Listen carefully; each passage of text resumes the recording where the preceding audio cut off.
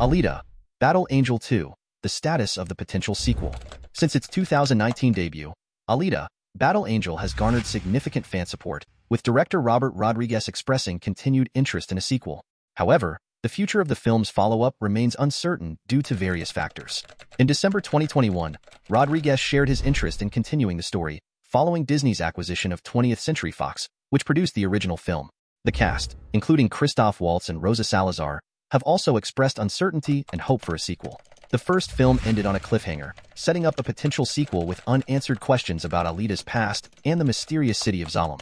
James Cameron, who co-wrote and produced the original film, had plans for a trilogy, with extensive notes provided by Cameron himself.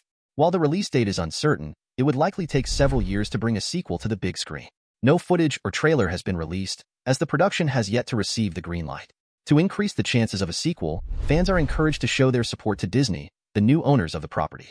Alita, Battle Angel may second be in limbo, but the strong fan support and the creative team's interest in continuing the story give hope for the potential continuation of the saga.